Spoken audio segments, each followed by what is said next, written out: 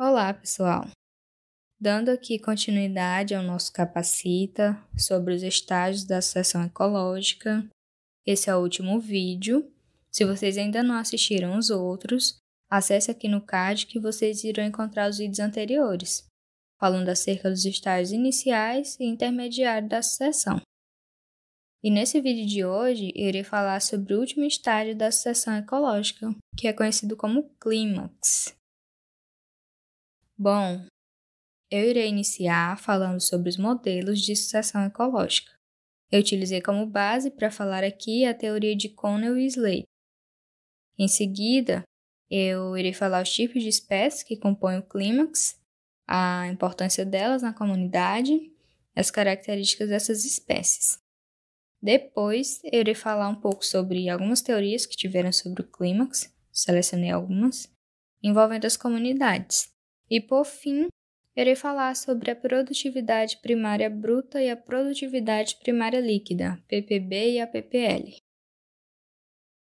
Antes de um ecossistema se estabelecer o clímax, ele passa por uma série de competições que ocorreram entre as espécies devido aos fatores limitantes e as perturbações que atingiram as comunidades do estágio inicial e do estágio intermediário.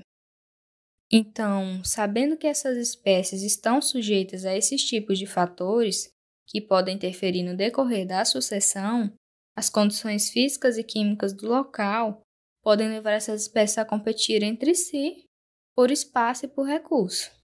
E a teoria de Connell e Slater explica bem isso. Eles consideram o termo sucessão como mudanças que ocorrem em uma comunidade no espaço e ao longo do tempo devido às perturbações que podem remover espécies, é, interromper o ciclo de vida, privando-as do de espaço e recursos alimentares, ou modificar o ambiente, deixando grandes espaços abertos. E eles citam o estresse físico das plantas e a competição por recursos como os principais mecanismos que determinam o custo da sucessão. Então, de acordo com os mecanismos que determinam a sequência de espécies, Connell e Slater, em 1977, apresentaram os três modelos de sucessão, que é a facilitação, a tolerância e a inibição. A facilitação é caracterizada pela ocupação de espaços abertos por espécies aptas à colonização imediata.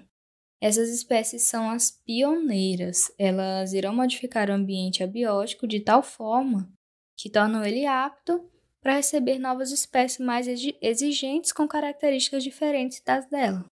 Então, quando as espécies pioneiras modificam esse ambiente, ela o torna favorável para o estabelecimento das espécies tardias.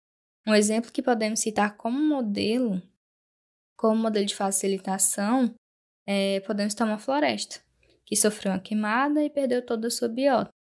Depois de um determinado tempo, algumas espécies começam a aparecer e crescer naquele local aberto. E com o tempo, essas espécies vão modificando o ambiente, facilitando o desenvolvimento das espécies mais tardias, agindo como abrigo para as suas sementes, fornecendo então um habitat adequado a elas. Já no segundo modelo, que é denominado tolerância, as espécies tardias elas não precisam necessariamente da presença das espécies pioneiras para se estabelecer e crescer. Uma espécie pode invadir um novo habitat e se estabelecer de forma independente da presença ou ausência de outras espécies, pois o seu estabelecimento ele vai depender do nível individual de tolerância a escassez de recursos das, das espécies. E também da, vai depender é, da sua capacidade de dispersão e das condições abióticas. E as espécies pioneiras, que são espécies com ciclo de vida curto, elas produzem um grande número de sementes, investindo mais na quantidade, porém é, com reduzida reserva energética. Já as espécies tardias ocorrem o inverso, elas produzem um número menor de sementes, porém com o tecido de reserva mais desenvolvido, tolerando aos baixos níveis de recurso. Então, esses aspectos fornecerá maiores chances de persistência. Então, nesse modelo, a tolerância à competição seria o fator determinante para a ocorrência de espécies ao longo do processo sucessional. Nesse modelo, a sequência de espécies é determinada pela história de vida de cada espécie. É, pode ocorrer invasão de espécies não nativas em qualquer tempo da sucessão, sustentando que as espécies não nativas são mais resistentes quando da redução do nível de recursos sob intensa competição, sendo então capazes de dominar os estágios mais avançados. Já o terceiro modelo, denominado inibição, ele prevê que as espécies iniciais invasoras, não apresentando a mesma história de vida das espécies presentes em uma determinada área, elas inibem o estabelecimento delas, travando ou retardando o processo de desenvolvimento dessas espécies nativas daquela área. E a inibição, ela altera o ambiente, tornando ele inadequado, prejudicando o potencial das espécies futuras. Pode acontecer da espécie inibir outra por predação, por redução dos recursos a nível abaixo daquele que a outra espécie precisa para subsistir, por produção de químicos nocivos, ou seja, é, uma planta pode inibir a, a outra planta que a outra planta se desenvolva a partir da liberação de substâncias químicas no ar ou no solo. Esse processo ele recebe o nome de alelopatia. Então, esses modelos eles compreendem vários processos, interações entre espécies. Eles foram muito importantes para os trabalhos posteriores, né? Para que viessem outros trabalhos. Mas não devemos nos limitar apenas a, a essa teoria. Esses modelos de facilitação, tolerância, inibição, eles não são modelos mutualmente nocivos, exclusivos em uma comunidade. Porém, eles podem ocorrer simultaneamente em diferentes pontos na sucessão de uma determinada comunidade. Os modelos de Conner e Slater, eles não incluem a herbivoria como um, um agente de mudanças sucessionais. Eles ignoram a influência dos consumidores sobre a sucessão. Possivelmente, os herbívoros eles podem afetar a sucessão, é, pode ser acelerando ou desacelerando a taxa de sucessão, no qual a sequência de espécies ela é inalterada, ou pode agir alterando a sucessão para uma nova trajetória, em que a composição das espécies dominantes torna-se muito mais diferente.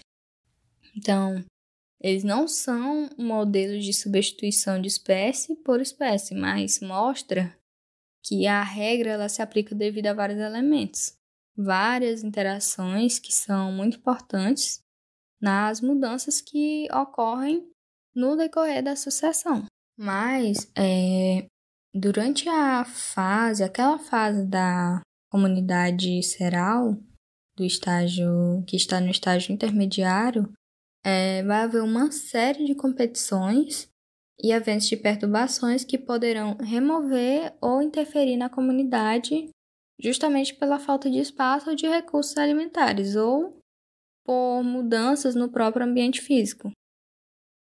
Então, de acordo com essas relações competitivas entre espécies, existem dois tipos de resposta das comunidades às perturbações, é, que são as respostas controladas por fundação ou por dominância.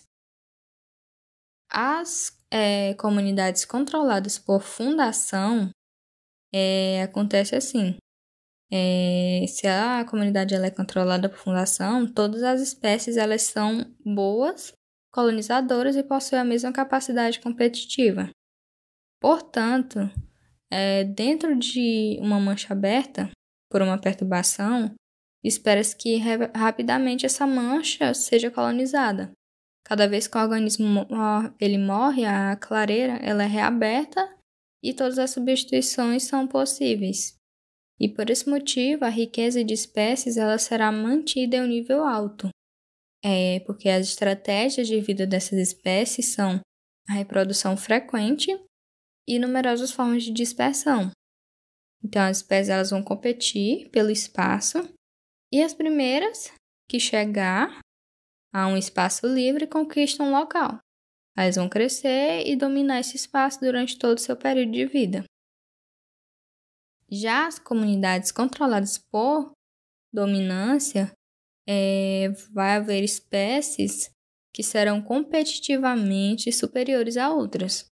Um colonizador inicial de uma clareira pode não se manter nela necessariamente, e as tardias podem é, acabar predominando nessa comunidade. Nesses casos, as perturbações podem levar a sequências previsíveis de espécies que têm diferentes estratégias de exploração de recursos. É, então, vamos ter as espécies iniciais, que se trata das espécies do início da sucessão. Elas são boas colonizadoras e crescem rapidamente, enquanto que as espécies tardias, é, que se trata do estágio intermediário, podem tolerar níveis baixos de recursos e crescer somente na presença de, das espécies iniciais, excluindo elas posteriormente por competição. Então, se a comunidade é controlada por dominância, haverá algumas espécies com maior capacidade competitivas que outras. Então, as espécies pioneiras ou ESESI, é, que são características do processo inicial da sucessão, elas vão colonizar um local, passando um tempo aparecem mais espécies, que são aquelas que têm uma baixa capacidade de dispersão, e dominam o estágio intermediário, no qual é, coexistem com as pioneiras, e mais tarde é, as espécies é, climáticas vêm e eliminam as suas vizinhas por exclusão competitiva. Então, entrando no agora no estágio final, é, as espécies climáticas é, são as espécies do, da comunidade clímax. Então, entrando agora no estágio final da sucessão, sendo esta fase caracterizada pela presença de espécies que são melhores competidoras da comunidade local, nessa comunidade é, geralmente vai prevalecer espécies arbóreas, árvores de, de maior porte, é, mais complexas, mais, são espécies mais exigentes, com ciclo de vida é, mais longo, ainda mais longo que as outras, mas é, a mudança de composição é, dessa comunidade vai ser mais lenta, pois o crescimento dessas espécies será mais lento. É, Para uma floresta chegar no estágio clímax pode demorar anos. O tempo de desenvolvimento para chegar nesse nível é muito elevado. Então, dessa forma, pode levar centenas de anos ou até vários séculos até que esse processo chegue a uma significativa estabilização. Então, no início da sucessão, as comunidades são mais instáveis, têm mais instabilidades, têm uma alta mortalidade proveniente das competições entre as espécies, que são muitas. Portanto, as espécies mais simples precedem as mais complexas, ou seja, as plantas herbáceas os subarbustos e os arbustos são gradativamente substituídos pelas arbóreas. Né? As sombras da, das espécies maiores vão prejudicando as espécies menores, que são intolerantes à sombra, vão sumindo, vão desaparecendo, enquanto que as árvores acabam por dominar o território. Daí, é, essa fase ela representa um auge é, da diversidade. A comunidade vai entrar em um estado de homeostase, ou seja, ela alcança o equilíbrio dinâmico, como e como suas espécies elas são complexas nesse, nesse estágio, vai apresentar é, seres que toleram ambientes diferentes. É, seres que vão viver na copa das árvores, seres que vão viver no, no estágio intermediário e seres que vão viver na sombra, sobrevivendo com pouca luz. Então, esse equilíbrio é quando a comunidade ela tem vários nichos disponíveis. Por isso que o clímax é considerado o estado de equilíbrio, de homeostase, porque ele dispõe de vários nichos para outras espécies, para que outras espécies possam habitar ali. Então, daí vai haver uma maior biodiversidade, é, um elevado número de espécies, formação de novos nichos ecológicos, uma maior quantidade de biomassa, as teias e as cadeias alimentares é, se tornam cada vez maiores, mais complexas e multidirecionais, e as taxas de fotossíntese e respiração também irão aumentar. Bom, quanto ao nicho ecológico, para quem não sabe, nicho é o conjunto de condições e recursos que permitem a uma espécie sobreviver naquele ambiente. Essas condições e recursos se trata das variáveis ambientais que podemos citar é a umidade, tipo de solo, pH, a disponibilidade de alimento, os locais de abrigo e para reprodução. E na comunidade clímax vai haver melhores condições para que várias espécies possam se abrigar e também vai haver uma maior disponibilidade de recursos para que essas espécies possam se estabelecer ali. As condições microclimáticas também tendem a se estabilizar ao longo do tempo. É, também vai haver é, a presença de mais predadores, vai haver também a presença de competidores. Então, a, as cadeias, nisso as cadeias alimentares vão aumentar, formando as teias alimentares, que vão se tornando cada vez mais complexas e multidirecionais.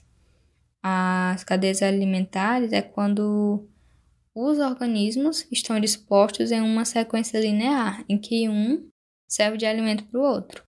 Lá no início da sucessão, a cadeia alimentar era mais restrita, era mais simples. Mas a partir de agora, aquele organismo que estava presente somente naquela cadeia não vai fazer parte somente dela. Vai começar a fazer parte de outros de outras. Nisso, ela vai, essas cadeias vão se conectando, formando então as teias alimentares.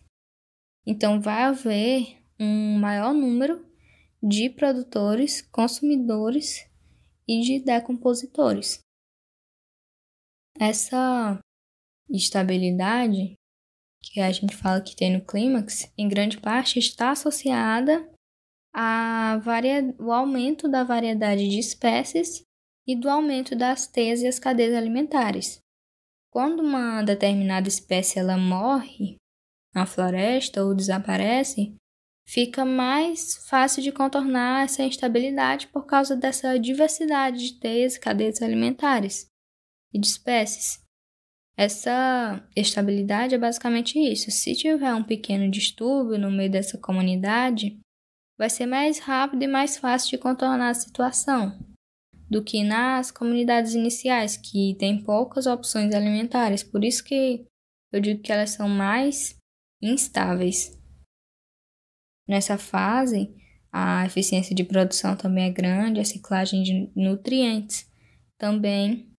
Então, se ela sofreu uma pequena, um pequeno distúrbio, vai apresentar apenas leves modificações, não essa comunidade não vai perder a sua característica rapidamente. Ela vai permanecer no nível estável em frequência da, de espécies e de biodiversidade. Né? Vai haver o aumento na produção da biomassa. Né? A biomassa nada mais é do que toda a matéria orgânica de origem vegetal e animal. Nisso vai haver quantidades significativas de nutrientes no solo através da decomposição desses componentes. Nessa fase, como tem uma grande quantidade de árvores, essas árvores vão produzir uma maior quantidade de serrapilheira, que vai favorecer na retenção de água, na disponibilidade de nutrientes do solo, funcionando também como isolante térmico, né, protegendo das altas temperaturas, deixando ele mais fértil e mais estável, abrigando uma maior quantidade de sementes. É, e vai ocorrer também é, o aumento da taxa de fotossíntese e de respiração. Ele vai produzir demais, mas também vai consumir demais. Ou seja, a taxa de produção ela é igual à taxa de consumo. Então nada sobra, tudo é consumido nessa comunidade. Por isso que ela é caracterizada por atingir o equilíbrio. Mas na frente eu vou falar melhor sobre isso, onde eu estarei falando sobre a produtividade primária bruta e a produtividade primária líquida. Mas antes disso, eu quero falar sobre algumas teorias sobre o clímax que eu selecionei para falar nesse vídeo. É, eu selecionei algumas teorias que foram bem consideráveis naquela época. É, na verdade, muitas foram bem consideráveis, foram muito importantes, mas eu selecionei algumas dessas que foram bem consideráveis. É, antigamente, quando os ecólogos eles começaram, é, deram início aos estudos das comunidades, eles notaram que elas tinham a tendência de se modificar ao longo do tempo e que essa modificação ocorria até um determinado ponto em que ela não mudava mais, deixava de mudar. Eles chamaram esse ponto, é, deram o nome de clímax, que teria é, uma comunidade que seria uma comunidade previsível de espécies e permaneceria estático até que ocorresse uma grande perturbação. Por muito tempo, eles acreditaram que esse estágio ele era imutável, é, mas essa crença de que a comunidade era que a comunidade clímax era o ponto final da sucessão mudou com o passar dos anos. Existem várias teorias que tentam explicar como é, as espécies evoluem para chegar no clímax. Os ecólogos, na verdade, eles têm acumulado uma grande quantidade de informação em vez de termos uma única teoria unificada, o que temos é um, hoje é um conjunto de processos sucessionais, conjunto complexo, que estão interconectados entre si. E cada autor vai apresentar uma visão nova, um pouco diferente, mas é, todos contribuíram para o enriquecimento desse conceito de sucessão ecológica. Então, eu irei abordar é, umas três teorias que foram bem consideráveis. É, nesse tempo, naquele tempo não havia, não se tinha muitos estudos sobre isso, mas esses estudos serviram de base para que surgissem outras teorias que foram mais avançadas e chegassem a esse conceito que temos hoje. Como são muitas, eu selecionei somente esses três para falar nesse vídeo. Vou começar falando sobre a teoria do monoclímax, que foi proposta pelo botânico e ecólogo norte-americano Frederick Edward Clements em 1916, né? Ofereceu uma teoria sobre a sucessão de plantas, na qual ele dominou o campo científico na primeira metade do século XX. Clement ele focalizou seus estudos em paisagens de campos e florestas de coníferas. Ele acreditava que a sucessão era um processo que acontecia de modo ordenado e previsível em direção a um único clímax. Por isso que ela recebeu esse nome de monoclímax. É, que ele acreditava que só havia um único clímax para todas as comunidades. Ou seja, é, entorno estável, onde a vegetação alcançaria o seu equilíbrio, sendo então é, este o ponto final de qualquer sucessão, controlada apenas por, pelas condições climáticas, controlada apenas pelo clima. E nessa teoria, a comunidade de plantas era considerada por ele, por Clements, um superorganismo é, esse conceito ele foi seguido da premissa de que a tarefa central da, da ecologia consistia no estudo da sucessão ecológica ou a substituição de uma associação de plantas por outras ao longo do tempo. E Clements ele sugeriu que a organização e as propriedades de equilíbrio próprio das associações das plantas tornava válido considerá-las como um tipo especial de organismo. Ele descreveu que os fatores externos, como a migração de plantas e variações nas condições físicas do meio, eram consideradas irrelevantes para a trajetória do desenvolvimento sucessional. Embora essas teorias de Clements tenham sido alvo de críticas né, posteriormente, houve muitas críticas naquela época, suas ideias elas causaram é, bastante repercussão na ecologia americana, mas contribuíram para a disciplina de ecologia. A próxima teoria é a do teoria do policlímax, né?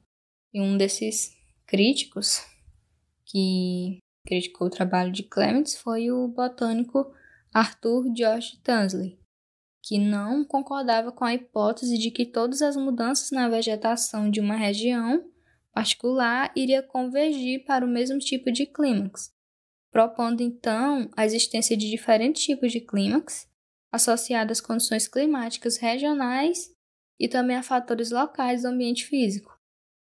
É, Tansley também não concordava com a ideia de que a comunidade de plantas era um superorganismo, é, e defendia que a comunidade seria como um quase organismo.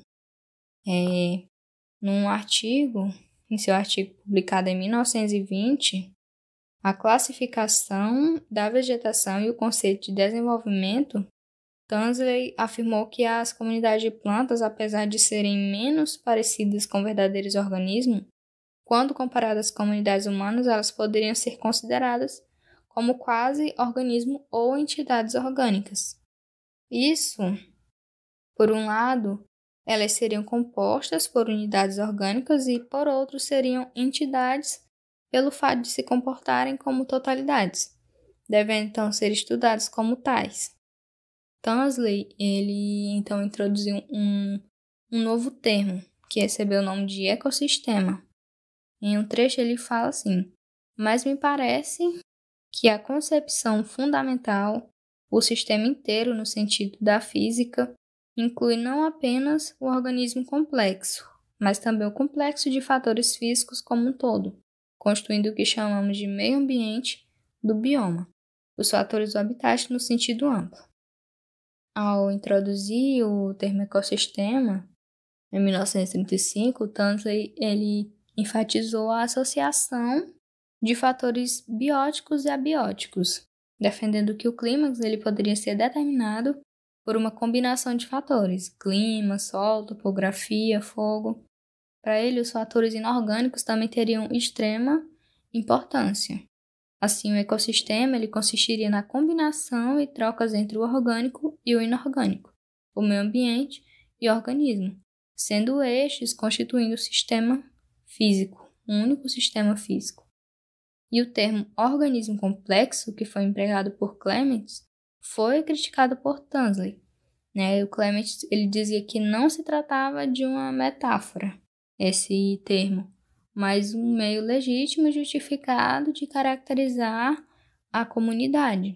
Por outro lado, o ecossistema de Tansley descreveu melhor o mundo que estava sendo estudado, ou seja, ele é, ele é mais abrangente e permite ver qual é a participação dos seres humanos, pois né, nisso ele não estaria apenas analisando os organismos que constituem a comunidade, mas também os fatores físicos que constituía o ambiente em que eles viviam.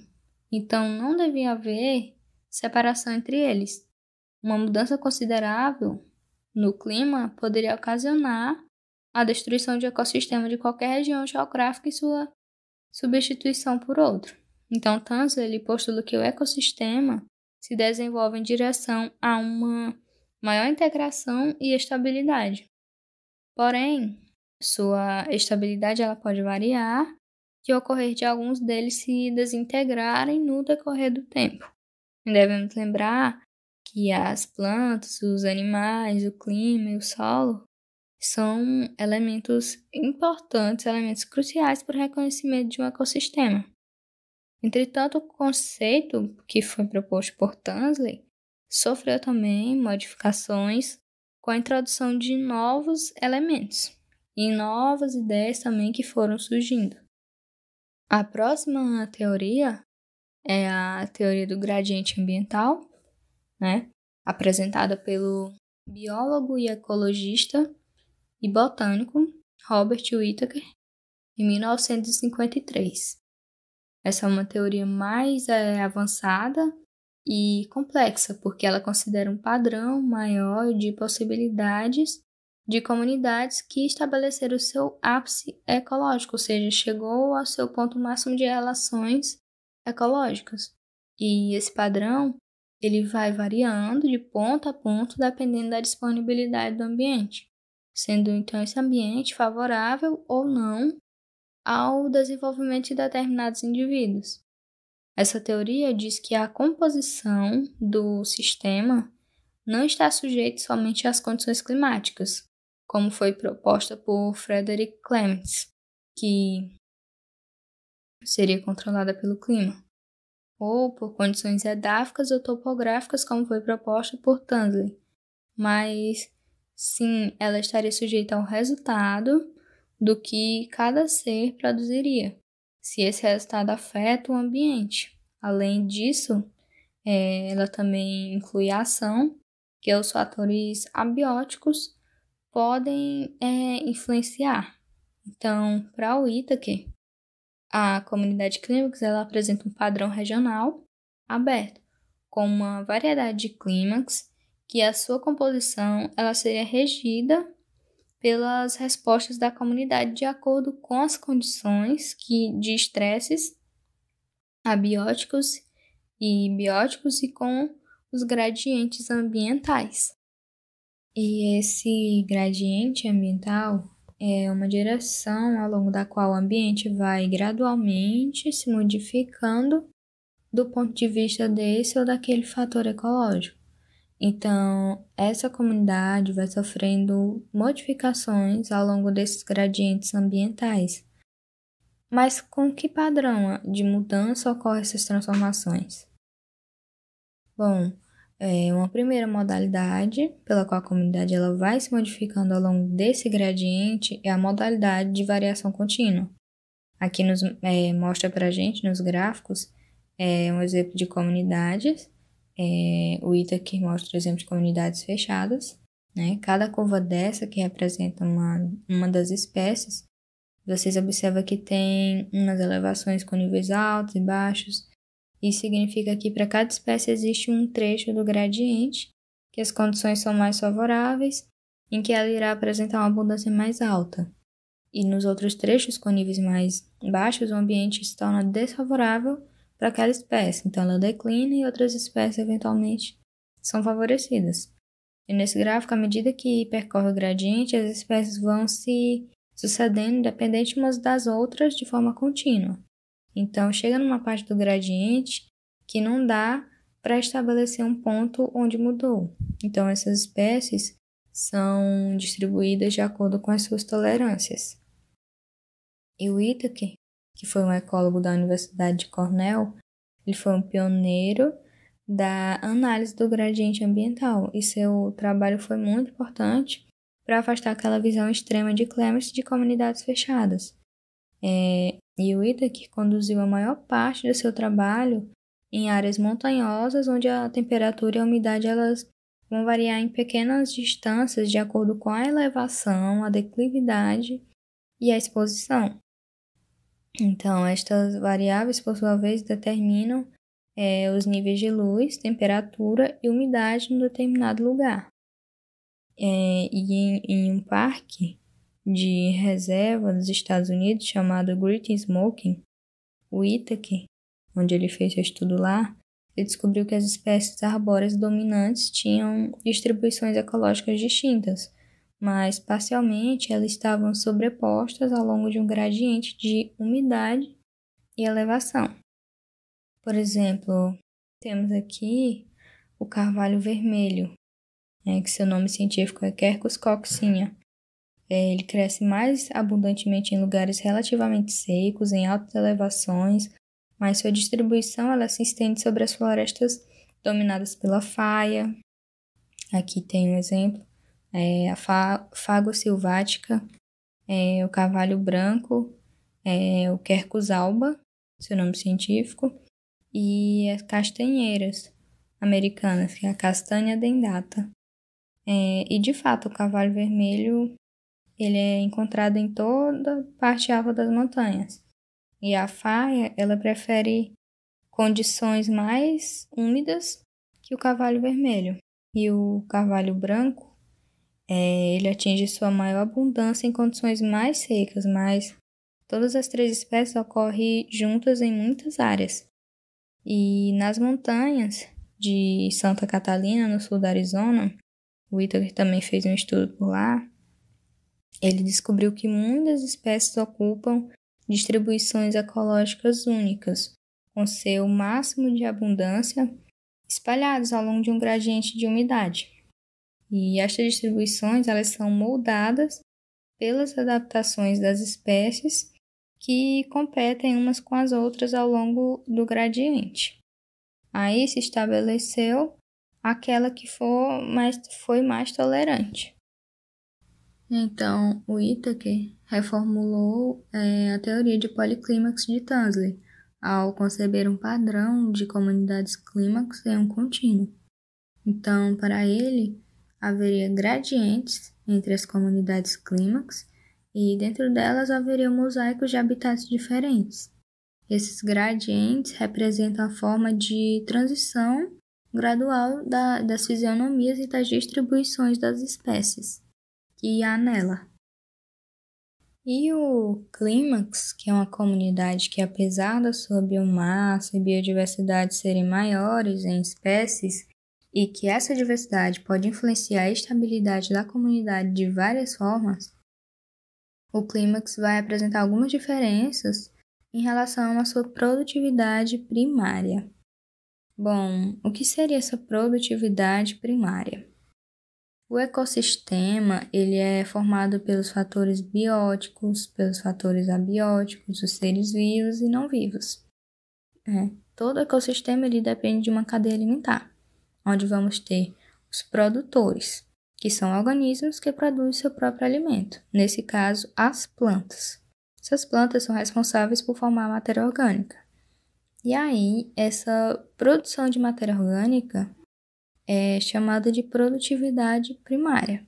O quanto o ecossistema ele conseguiu produzir de matéria orgânica.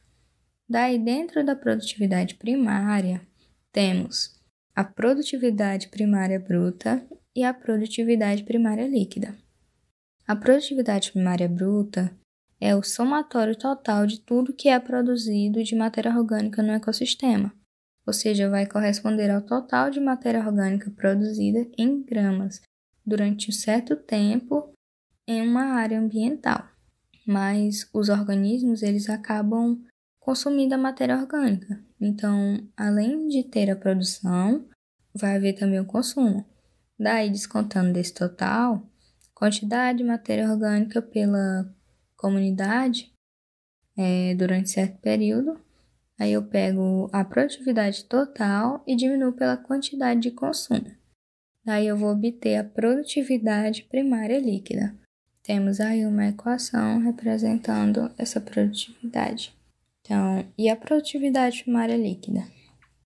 É aquilo que realmente interessa para o ecossistema.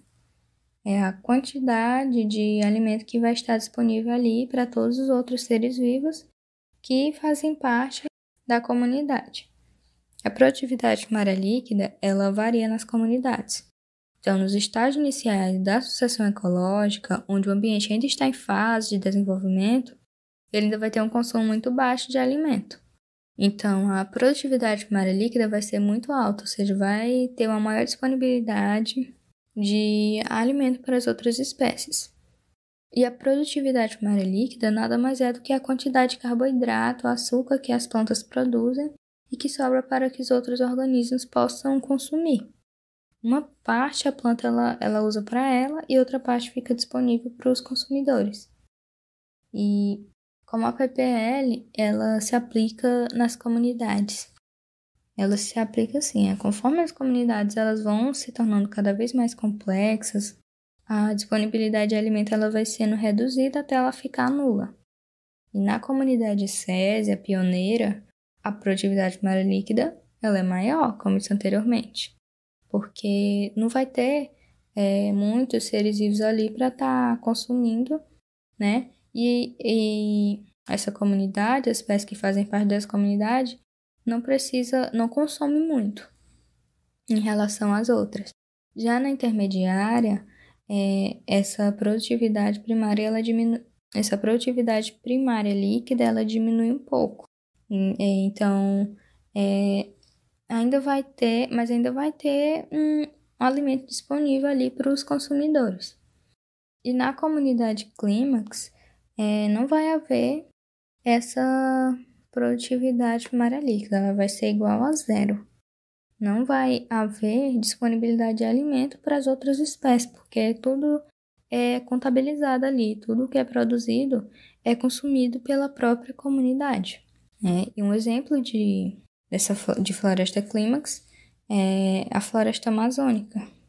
Ela apresenta uma enorme biodiversidade de espécies em sua composição. E nesse gráfico ao lado representa muito bem como a produtividade primária líquida ela diminui ao longo da sucessão, né? Fazendo de conta que ali no começo é a comunidade Essese, depois é, vai passando para a comunidade intermediária, depois para a comunidade clímax. Notamos que ao longo da sucessão é, o, os únicos fatores que avançam é a produtividade primária bruta, a biomassa, que é a quantidade de matéria orgânica, né? E a respiração. Mas a produtividade primária líquida, ela, ela cai, ela diminui. Então, gente, é, o que podemos concluir sobre o clímax? Bom, ele é representado por uma alta riqueza de espécies. Ele abriga uma enorme biodiversidade de espécies, é, mais nichos ecológicos disponíveis, teias e cadeias alimentares multidirecionais e complexas. Ele é representado por espécies arbóreas de grande porte, crescimento lento. São espécies que conseguem sobreviver em locais que, que possam é, que possuam uma maior quantidade de nutrientes por isso são consideradas mais, mais exigentes. Elas só conseguem se estabelecer em um local se as, se as espécies iniciais e as intermediárias prepararem o local, deixarem o local mais propício para ela. Essas espécies também elas são muito importantes para a manutenção das florestas.